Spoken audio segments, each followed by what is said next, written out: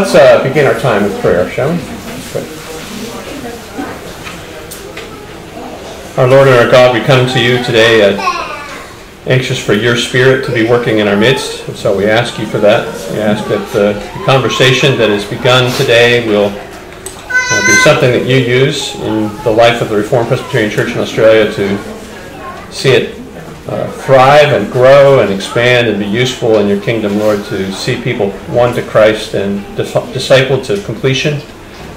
And so bring us, uh, Lord, today to a, a, measure of seriousness about this, that we would uh, look carefully at our own lives and the lives of the, of the church and see that we can uh, contribute and what we can do, Lord, to see your kingdom come and your will done on earth as it is in heaven. We pray for your help now in Jesus' name. Amen.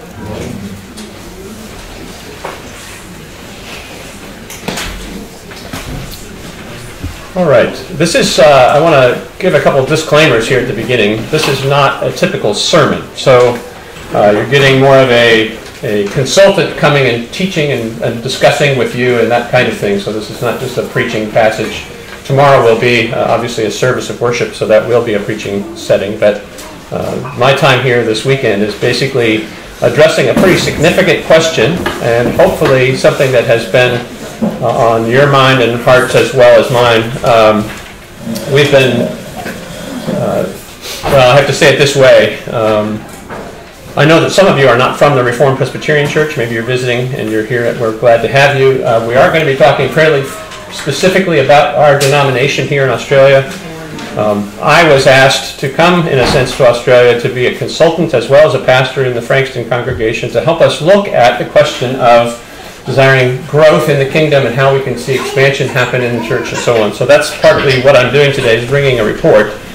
Um, somewhat pointed then in the Reformed Presbyterian direction, but I hope it's helpful as we look at principles and things like that in general as well. Uh, I really want this to be something that um, maybe you can imagine this. I've probably spent over a month preparing the materials for this.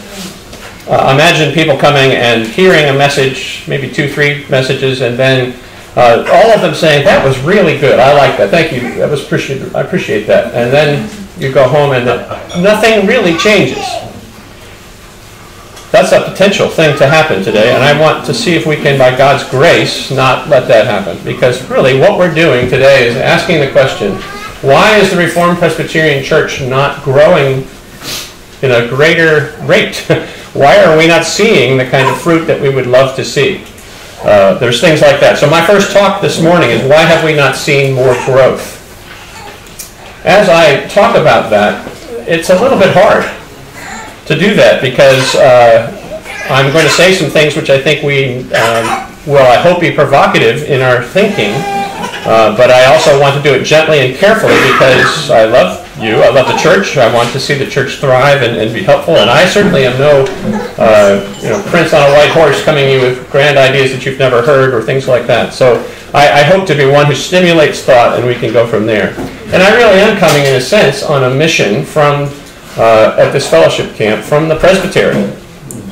The presbytery has put together a strategy committee that has been working now for a little bit over three years and over that time, we came up with a, a, a, document, which is I have with me here. It's just three pages long, and it's uh, the, the idea of it is to communicate um, what are the, the things that the Reformed Presbyterian Church in Australia might think about in terms of growth and development in ways that we have not, uh, areas where we could improve, where we might see those things. And so um, that committee has commissioned me with, uh, with helping the denomination to grow and expand its witness here in Australia. Uh, our desire is to expand from three congregations into spreading out throughout Victoria and then eventually beyond that. So I'm here to share the conclusions of that committee. That's part of what I'm, what I'm doing. And this is the largest audience of the, the whole denomination we can kind of get together, so we're excited about that possibility. Um, what, if anything, needs to change? And I have to say that if we don't change anything, we shouldn't expect any difference in, in the way things are going, right?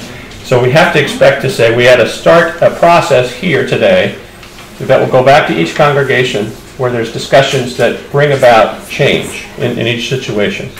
And I hope there's change in your own heart as well. Your own sense of conviction, your own uh, ownership of the ministry of the Reformed Presbyterian Church. That's what I'm hoping for. Now, anything I say to you in terms of principles for growth uh, for the church needs to be understood that those are true only as I state them if you mix in common sense. okay? You have to have common sense as you think about these things. So when I make a statement that says something like the church should be growing, not only in spiritual depth of uh, its membership, but really in numbers, we should be growing in numbers, you have to understand that that's not an either or arrangement. Right? We are desirous to grow spiritually. That's why we're here to camp. We gather for fellowship and we experience the means of grace and we really grow together. But the idea is that we will then be equipped to go minister, right? Some would argue that the church shouldn't be concerned about numbers. Have you heard that? I don't know. Have you heard that? That we really need, need to be faithful. And as long as we're faithful, we don't need to worry about numbers. Well, I think we need to stop when we hear that argument and realize that's a false dichotomy. Why are you putting those two things in odds with one another? Could we not say that when Jesus came to make us fishers of men, and I think, hello, hello, yeah, when he came to make us fishers of men, that he expect his disciples to see people, fish, come into the nets? Um, yeah, who would expect that faithfulness would you know, involve fish catching?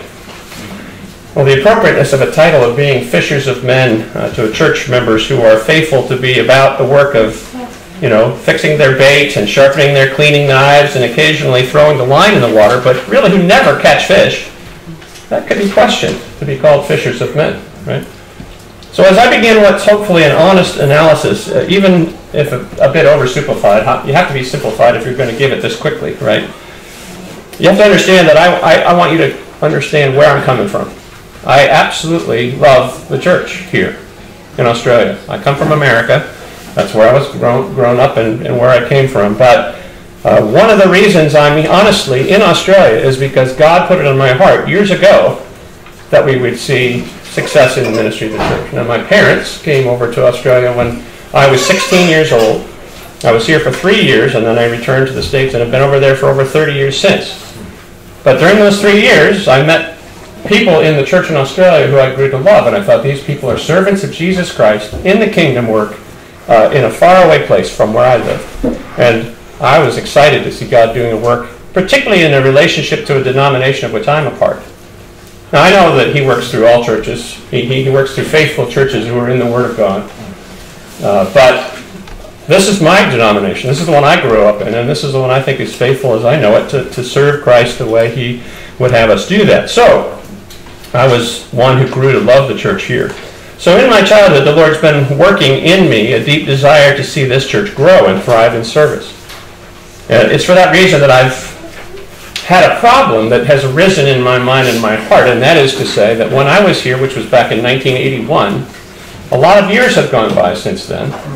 And actually, there were four congregations when I was here, uh, back in 1981, and now there are three. And I ask the question, how can that be? What is the Lord Jesus doing with the Reformed Presbyterian Church in Australia? You know, that's a tough question. And it's for that reason I begin to ask questions. I'm trying to uh, point, uh, I'm not trying to point the finger of blame to any of us individually or anything like that because I'm not in a position to do that. I really don't know uh, all the ins and outs of the whys. I'm certainly asking questions. Um, but I'm looking at a big picture because that's something I want to do and help you do together. And I want to ask the question, could we receive more of God's blessing? You know, if we were to, to understand where we've been falling short, if we've been able to understand where we have been walking and not walking maybe as Christ would have us walk as a church, could we receive God's blessing in a greater way of growth and expansion in the church uh, if we did that? So, as a denomination, I would like us to ask that. And I think it'd be good for the RPCA, RPCA to, to take a look at the numbers. As fishers of men, what have our nets brought in? Okay? If you take a historic timeline, um, again, the Reformed Presbyterian Church pastor, the first one came here in, I think it was in the 1850s. Um, the first worship service that they were able to gather together had 12 people who came. Okay? So that's pretty understandable at, at that stage of the development.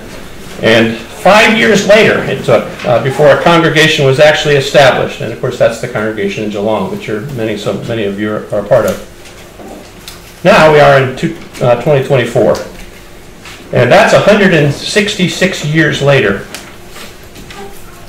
We've had 21 different pastors who've served uh, in the denomination during that time. And we have three congregations. So uh, 166 years, and we've grown to three. Um, unfortunately, those three are not in health, conditions of health. Full health, I should say.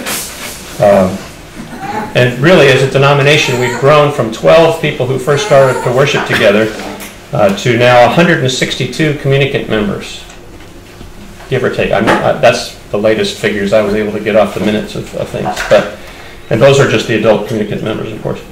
But in the last 15 years, the largest number of communicant members in the congregation of which I'm a part has been 31. Okay, 31 is the largest communicant membership that Frankston has had uh, for a number of years. Um, in, let's see, and it has decreased since the date when it was at, uh, at that number. In McKinnon, that number is at a current uh, number of 32, I believe, current 32 communicant members. Uh, that's probably on an increasing scale, but I'm glad to see that.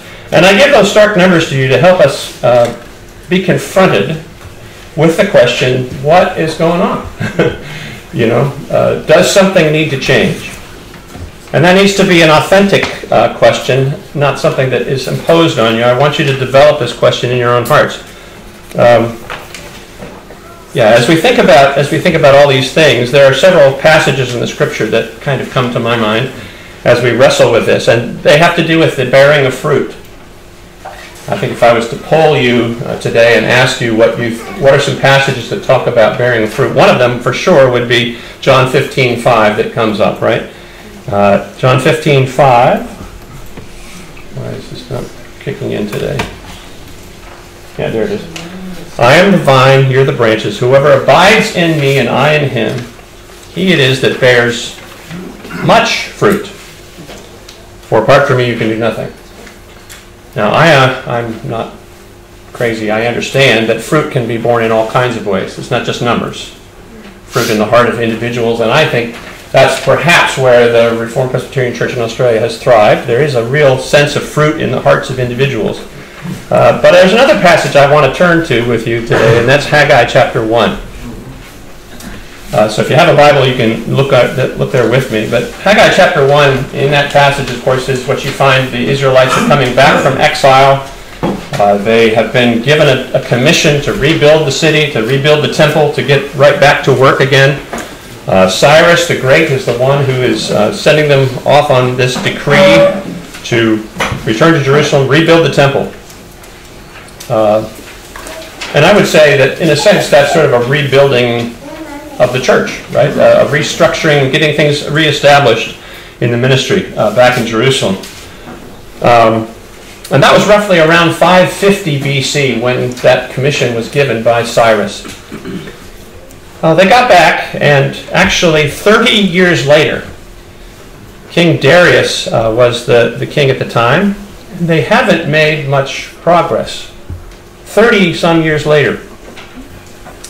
They didn't see the results that they expected. And here's what the Bible describes as the problem. So I found Haggai chapter 1 to perhaps be a helpful passage for us to look at. So let me read Haggai chapter 1 for you. I'm going to read just the first 15 verses, if I may. Okay, you can follow along on, on here if you'd like to, or in your Bible.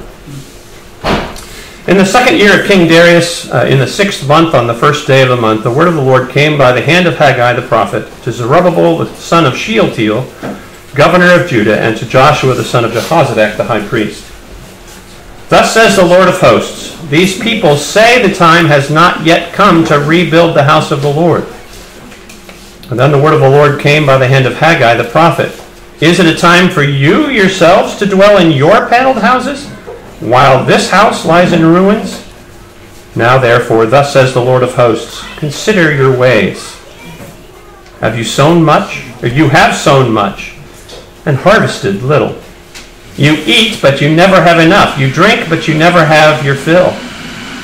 You clothe yourselves, but nobody's warm. And he who earns wages does so to put them into a bag with holes. Thus says the Lord of hosts consider your ways. Go up to the hills. I'm not sure where I am on that. Probably time to flip that. I don't know. Anyway, consider uh, your, consider your ways. Go up to the hills and bring wood and build the house that I may take pleasure in it and that I may be glorified, says the Lord. You looked for much, and behold, it came to little. And when you brought it home, I blew it away. Why? declares the Lord of hosts. Because of my house that lies in ruins, while each of you busies himself with his own house. Therefore the heavens above you have withheld the dew, and the earth has withheld its produce. And I've called for a drought on the land, and on the hills, and on the grain, and the new wine, the oil, on what the ground brings forth, on man and beast, and on all their labors.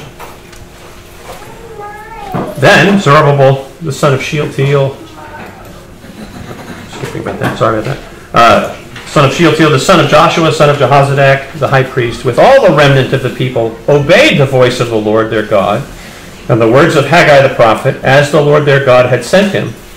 And the people feared the Lord, and then Haggai, the messenger of the Lord, spoke to the people with the Lord's message I am with you, declares the Lord. And the Lord stirred up the spirit of Zerubbabel, the son of Shealtiel, governor of Judah, and the spirit of Joshua, the son of Jehozadak, the high priest, and the spirit of all the remnant of the people. And they came and worked on the house of the Lord of hosts, their God, on the 24th day of the month, in the sixth month, in the second year of Darius the king blessing comes down and, and uh, helps them in their work.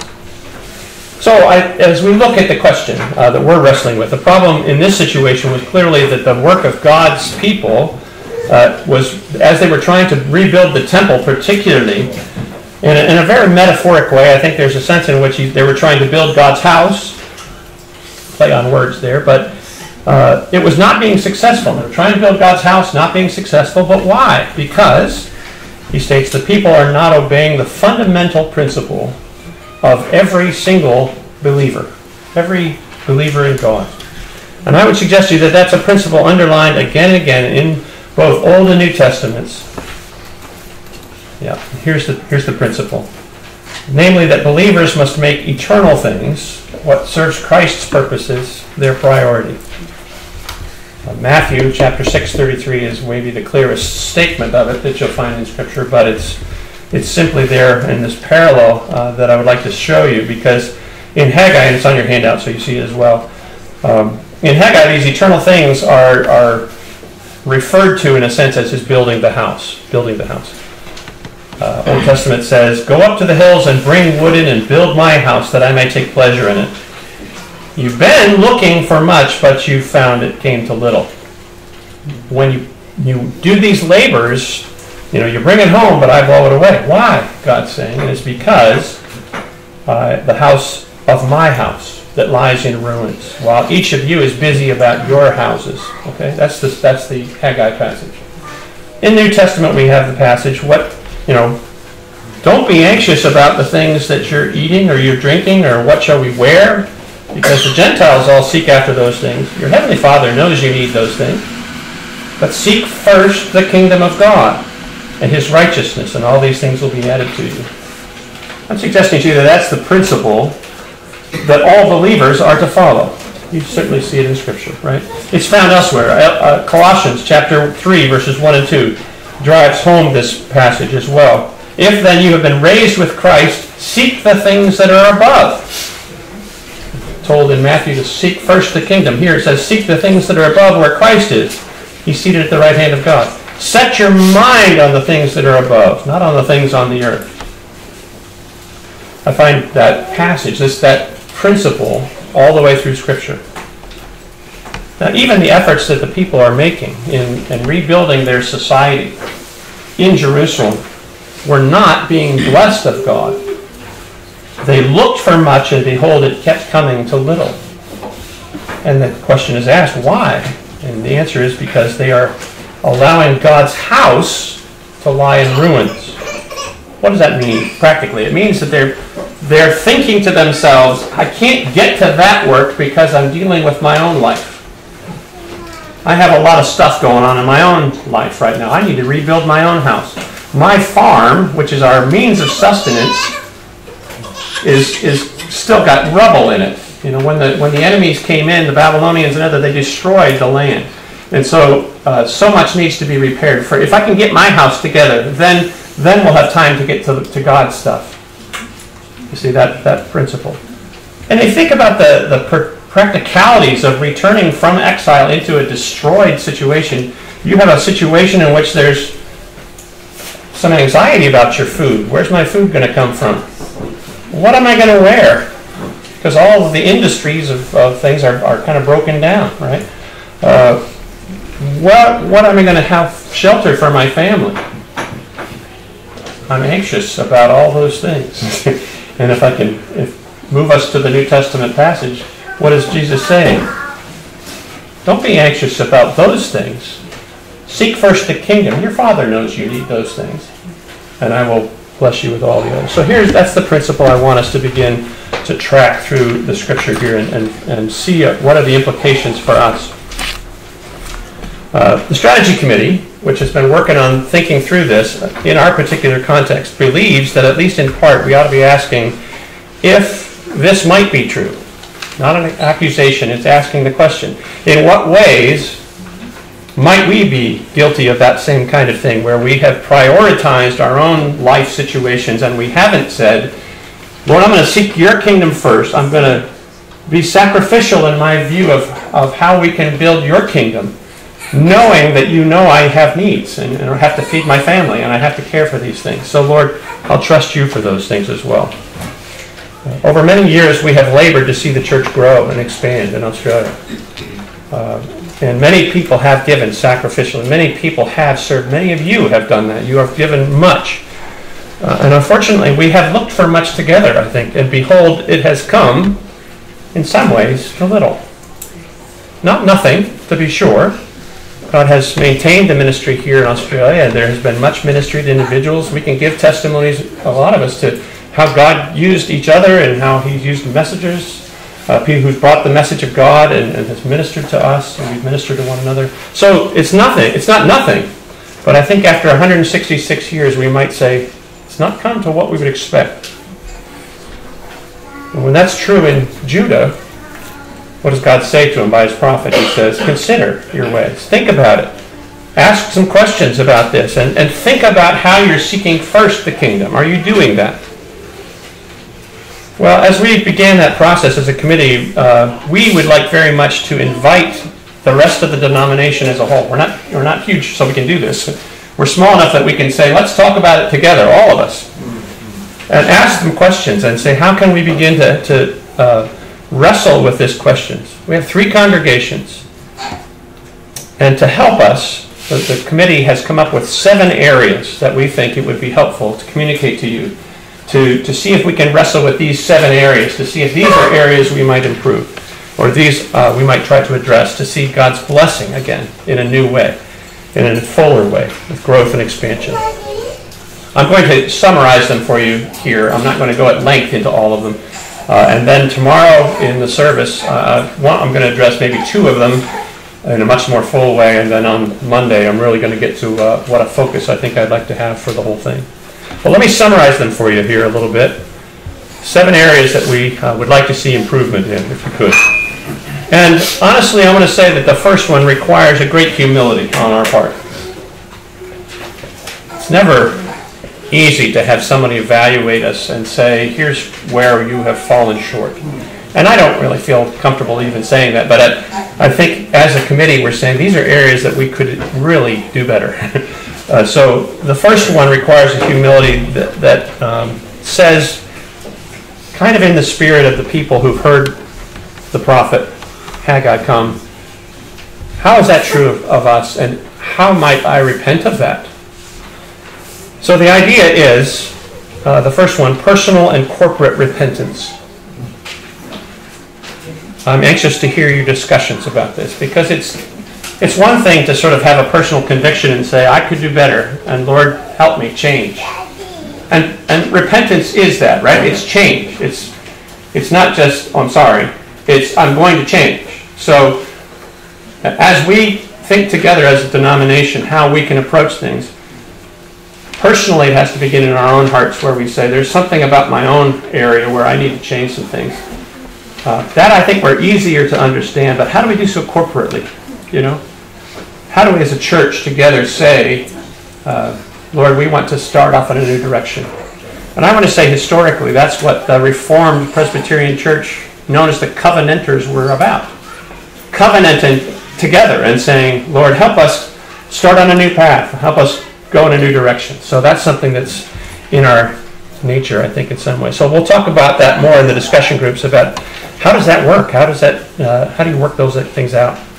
Another area that I like to have us do is maybe that first one, that area of repentance. Uh, this gives us some focus on how we can begin to turn those things around. And the next one is prayer. Prayer as a display of our trust. Yeah. Prayer is a display of our trust and dependency. Um, nobody here would argue that prayer is a big part of being a Christian, right? That that's something that would be about. Um, I'd like to have us think about this particularly, I think a committee would like to have us think about prayer in terms of how are we looking at the big picture of, of God's advancement of his kingdom in Australia? And how is our prayer so geared toward that? Uh, it's it's displaying to God every time we pray corporately, maybe it's in a worship service or uh, in our own homes as a families or in small groups together in the congregation? Are we praying and saying, God, if you don't bless the Reformed Presbyterian Church in Australia, we're wasting our time. Just wasting our time. Okay? Um, prayer meetings. We often think about prayer meetings. Yeah, they're good things. We should be about that. And I think what we're saying is we have a new sense that prayer is the work of the church. That's where the church gets things accomplished is where we say, God, have mercy on us. Use us as your tool. We desire to be used. Would you please do that?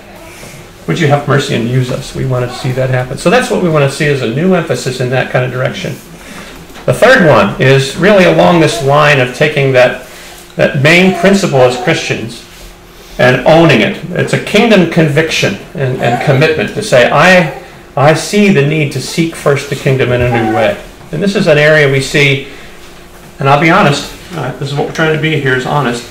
We can always kind of look around us and say, well, that person seems to be doing that. and I wonder about that person, you know. I don't see them having that kind of commitment. Starts in here. Doesn't start out there looking at everybody else. It starts here and saying, what about my own life? Have I sought the kingdom of Christ first and foremost above everything else that I do? Yes, I have to have a job. Yes, I have to do other pursuits and things, but how is my job serving Christ because that's what it's for. How am I making a living and supporting my family so that we can serve Christ? That's that's the deal. And again, we can we can see and ask the question, how much am I doing that? And then we want to together work on that. Okay, the fourth one is in the area of discipleship, particularly. How are how are we as a church in Australia, the Reformed Presbyterian Church here, how are we taking someone who's new to the faith, who comes into the church, and how are we helping them grow to the point of completion?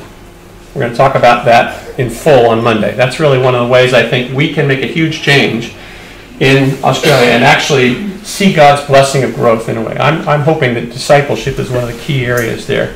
We want to bring people to maturity, so that's the goal. Fifth, developing skilled servant leaders within the church. Uh, you know that we often struggle to find leadership in the church. Uh, and, and that's true for males and females. We're, we're, we always have need for leadership there in various different kinds of ways.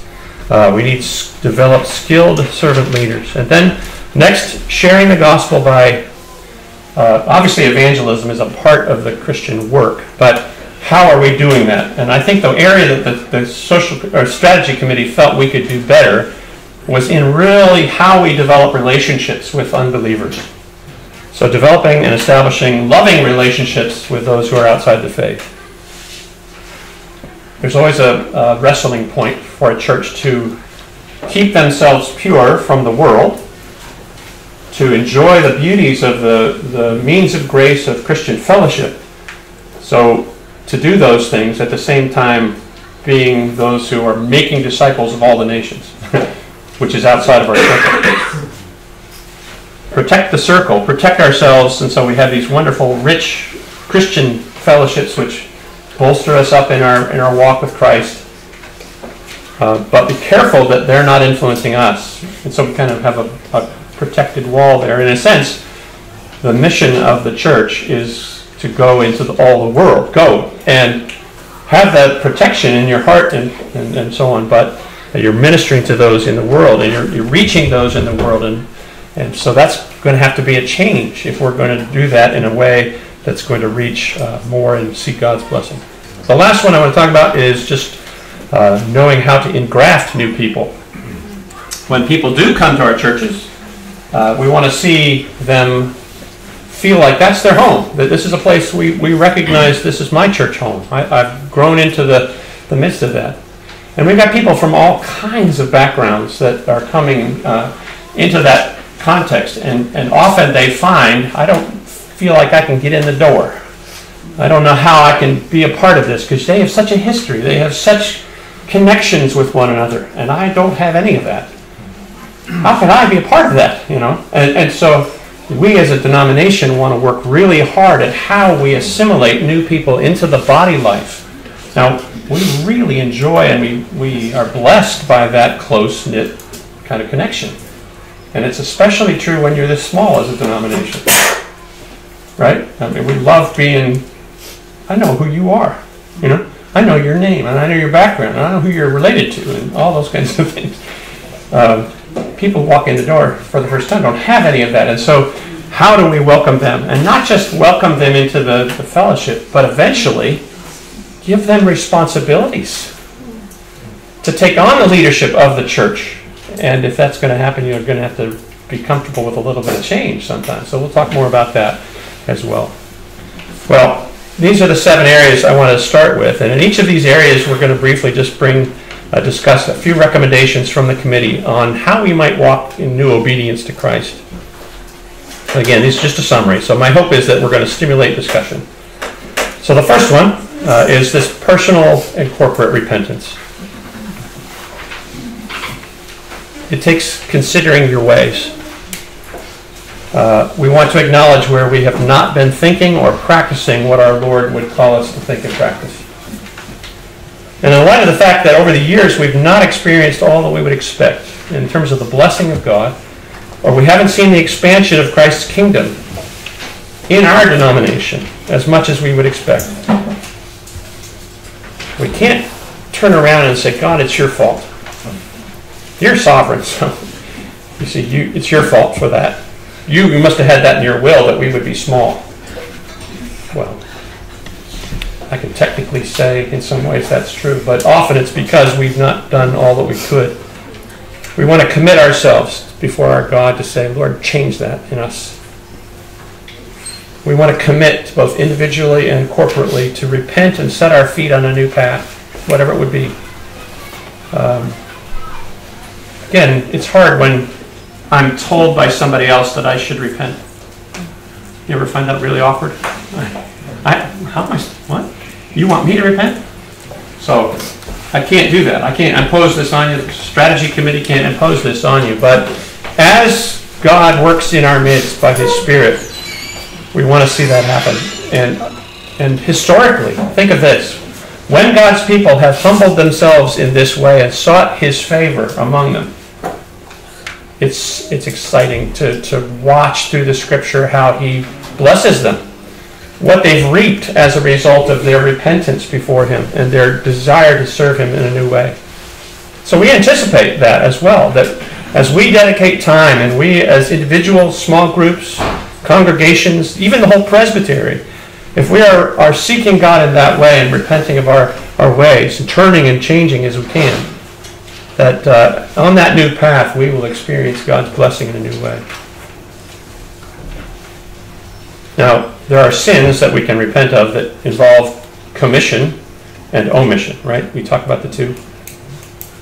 Uh, probably there's possibilities of both. I'm going to guess that the latter of the two is probably the greater situation in our case. That sins of omission, things that we could have done that we are not doing. So that's maybe one way to think about it. the second one is this idea of prayer as a display of our trust and dependency. It's the committee's deep conviction that kingdom advancement really only occurs this way by the power of the Holy Spirit as people pray. and that his ordained, ordained means for the Holy Spirit to do work in his church is through the people seeking him through prayer. Every revival that's ever taken place has always had prayer as the fundamental mover. Uh, it's, it's likely that the matter is not that we haven't been praying at all.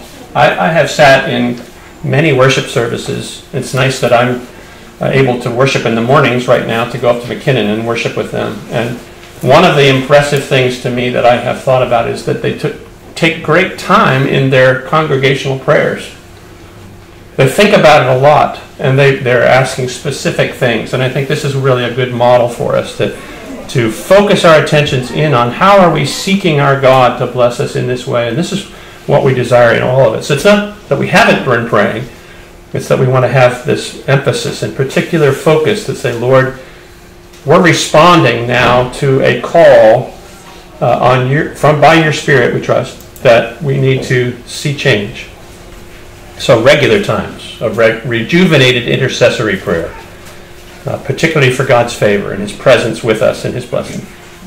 Um, that might happen in lots of different ways, and you'll have to discuss this together. But from the pulpit on the Lord's Day, sure. In small groups, individually at your homes, throughout the week.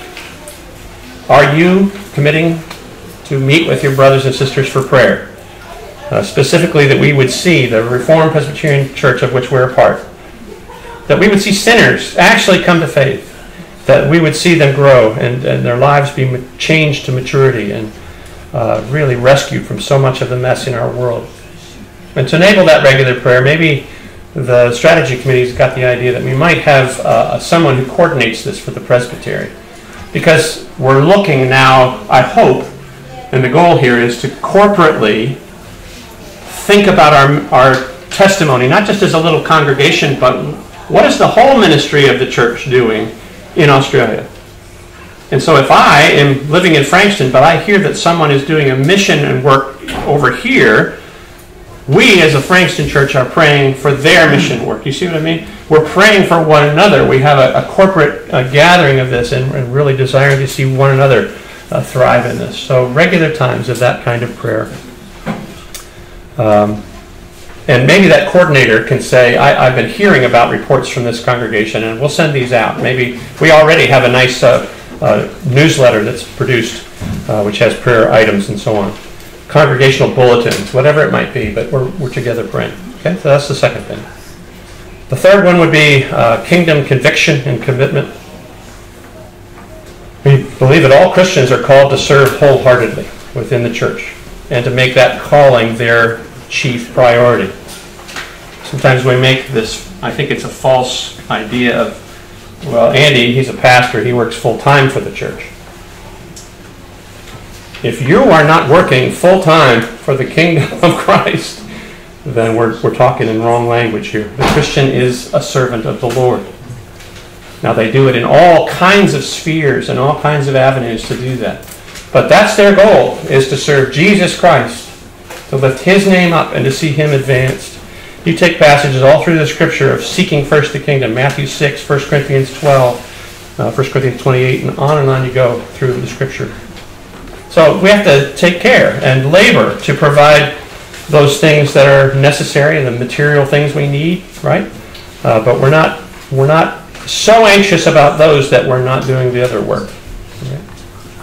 And that being the case, we're committed to being a, a kingdom focused and to sacrificial in our own lives in our allegation of our energies, our time, our gifts, our finances, and so on. Now, I want to say that we have some, some models for us here in the denomination. And I hate to even give a couple examples because there will be so many that I don't mention. But it is important to realize that some people have said to themselves, I want to do this in whatever God wants me to do. And they're willing to, to say, Lord, my life is secondary to what you want. So here it is, I will do it. Uh, I think years ago, Andrew Stewart moved to Australia because he got a call to a, a church. And he said, Well, I'm Irish, I live in Ireland, but the Lord has given me a, a sense that I might help them there. I want to go help them. And so he took a call to come. Picked up his family, left his, his close family members and everything, and served Christ to do that, and he's been here for many years now in that role. So that's a good example. Uh, um, and Louise heard a call to that there was a need for a church plant in, in Frankston. And they said, we're going to pick up from where we are in Geelong, in the comfort zone of where we are, and we're going to go to Frankston to serve. Now, that's going to create a lot of problems for families and difficulty things here and there. Um, but because they're saying the kingdom is what's my first priority, I'll do that, and I'll trust that the Lord will provide the other things. It's a real act of faith. Uh, Brandon and Megan Fisher. Uh, there was a call, I remember being uh, there. Uh, there was a call to young people to say, How are you serving Christ? I'm kind of giving you the same call. Uh, they heard that call when they were in their youth. They ended up marrying together and talking to each other and saying, Well, how can we do that? And one of the ways they could do that was to come to Australia to serve the church here. Uh, Ryan and Laura have done the same thing. Andy and Susan have done the same thing. And you are serving in that way, many of you, in various ways. I'm simply saying that the, the, the strategy committee is saying that's really the call of the whole church. What are you thinking about? What are you saying, Lord, how can I? And I'm not saying it means you have to get up and move necessarily or, or whatever, but am I saying that, Lord, your kingdom is first? That's what we want. So that's, the, that's that area, to consider our ways how am I allocating my funds and my work and my time and my energies? The fourth uh, area would be discipleship. And again, I'm going to talk a lot more about this on Monday, so I won't highlight it too much. But we recognize that Christ's church functions as a body. And it's made up of a variety of various gifts. In fact, God is brilliant in how He gives each one gifts and puts them in a particular body that He meets the needs there, uh, so that the whole body might be built up. That's Ephesians 4. Okay. Um, and as iron sharpens iron, then I think one of the things that we want to do is to help one another to learn how to mature and use those gifts and, and, and come to, to the point of completion. Um, being discipled and discipling others, not only, uh, and I'll talk a lot more about this on Monday, but one of the, the ways that we typically do this is to help people understand doctrine. Uh, it's a calling of the Reformed Presbyterian Church, I think, worldwide to be, and we tend to, you can either have a church which is um, word oriented or deed oriented. We tend to be the word oriented. It's not that we don't try to be doing deeds as well, but we, we think about the word and how central that is into the life of the congregation. And so when people come into the midst of the congregation, we try to disciple them in doctrine, understand the word correctly, and that's important. But if we stop there, we're in trouble in terms of discipleship because then they are not being useful in the, in the world. They're not, doc, they're not practicing that, and we need help in discipleship of practice as much as we do doctrine. So we'll talk more about that later. So, uh, recommendations for new obedience might be something along the line of uh, developing in a congregation a plan to spur on the membership in these areas. Uh, not just though a responsibility of the session, but it's also responsibility of one-on-one. What each person is asking the question. Because I'm seeking first the kingdom, what efforts am I making to help another believer along to maturity? Am I doing that? Or am I just assuming that somebody else, the elders, will do that? Are you personally thinking about discipling another person? And we'll talk more about that Monday. All right, uh, fifth, developing skilled servant leaders. Uh, this is just really following the example of how it's done in Scripture. Paul, Silas, Timothy, goes on and on through, right? Priscilla, Aquila, uh, Paul's passionate service to the Colossians. You can go through it. Um, as a presbytery, we, we're asking how can we commit to new ways to develop uh, ourselves, develop others as effective servant leaders? The characteristics that you might uh, seek to see in a, in a servant leader would be things like a passionate communication of their faith. Uh, they draw people into God's story of redemption by sharing with them. And that frames all that they think about in life. Uh, they're thinkers. They like to help people think. They, they try to get others to be involved in that. They're teachers in learning uh, community, training, and empowering others to com- contribute according to their gifts. And they demonstrate maturity in their own character, in Christ like character, is what I mean. So again, how do we do that? Well, we have to identify and involve current leaders in developing pathways to leadership for others, men and women, to equip them to be able to serve, to be initiators of biblically grounded ministry to other people. So, uh, obviously, developing leaders is going to be important. Sixth, how do we develop these loving relationships to share the gospel better? Um, we believe God calls us to break down barriers with people. And that happens as we cultivate genuine relationships of love with people and trust with them, uh, including non Christians. I think Christians sometimes shy away from that. But rather than looking at others simply as targets for evangelism, we recognize that all people are valuable and have worth because they're created in God's image. Even if they reject Christ, they have value.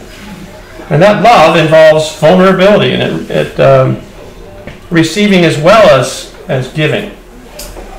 Compassion. We believe that God often uses those relationships as a means by which He, uh, His Son is proclaimed and demonstrated.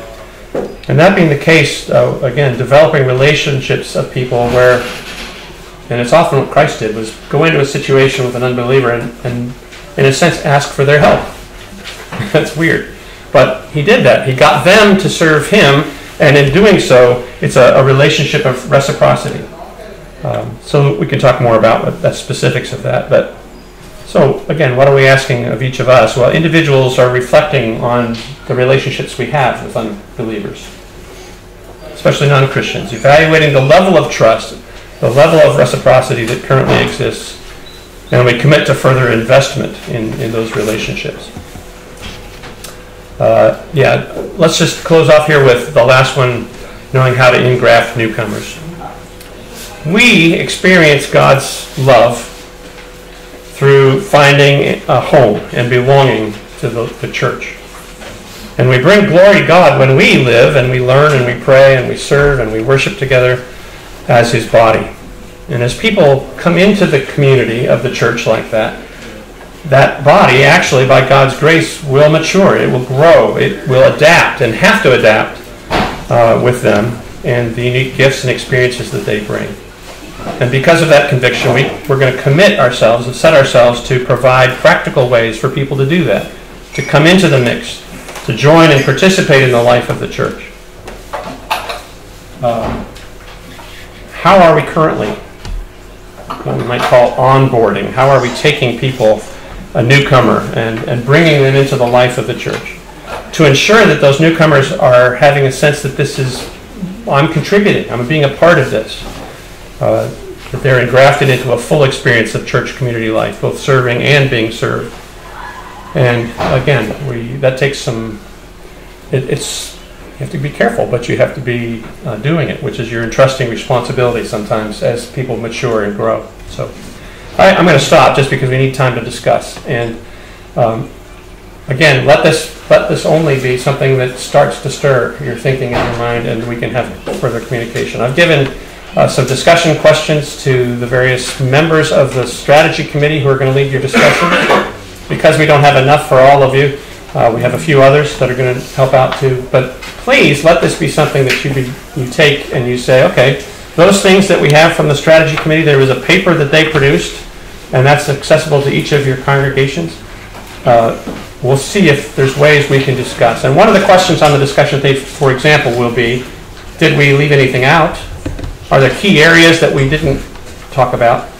And which of those do you think would be the most effective? You know, and if we made a change here, what would be the most effective? Okay.